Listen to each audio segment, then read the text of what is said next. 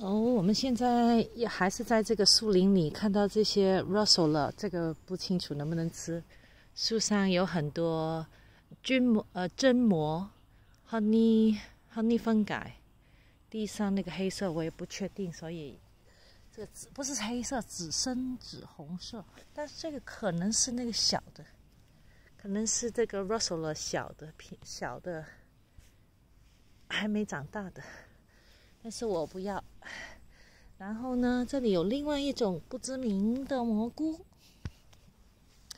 看一下，我刚才好像看到这个很毒的蘑菇，白色的鹅膏菌，这个好像是有剧毒的那种，但是名字现在还不清楚，要回去查一下。你看这里，它有鹅膏菌，它有环。然后顶上有小点，这是应该是有剧毒的那个白色的。刚刚第一次见到鹅膏菌的头，就像一个我们说的洋葱头。这个应该刚刚被别人破坏了吧？我还是放回它在这里。然后附近我还看到一些很多不同。品种的蘑菇，看一下哈。刚才我们放了一堆在这里，这个我也不太清楚它的名字，所以也不会摘回去。看样子不像能吃的，也没有什么好的味道。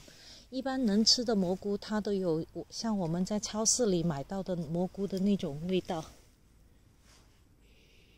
这个也没有味道，这大概是小品种的。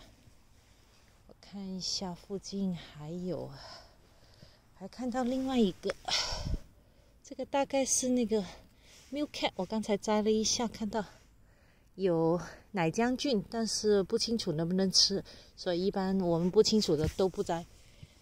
好了，然后回到我的篮子里看一下，这个都是刚才那个奶浆菌长大了，这是另外一个哦。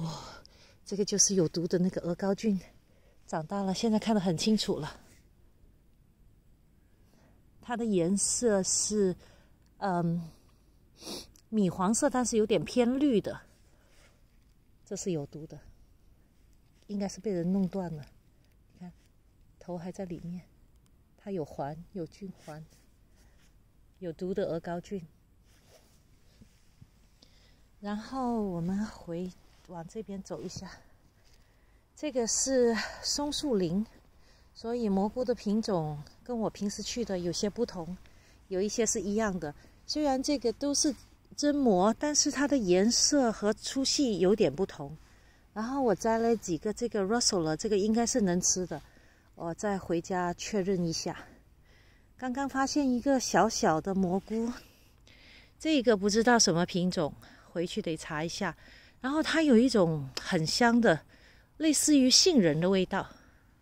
一般有香气比较好闻的都是食用的，但是我只第一次发现，然后回家先查清楚是什么名字，暂时不会不会尝试去吃它，先确认它的身份先。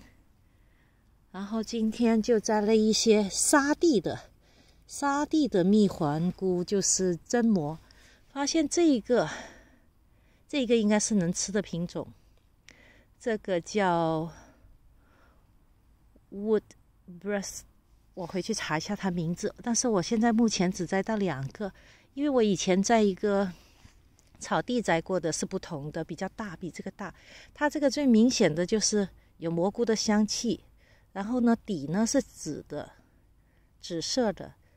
顶端呢有一点呃黄铜色，小的时候应该整个是紫色，它这个已经开散了，所以上面就是这种咖啡咖啡黄色，然后底部是紫色，这个应该是食用蘑菇，但是我也要回去确认一下。好了，现在我的篮子暂时就是这样，谢谢大家。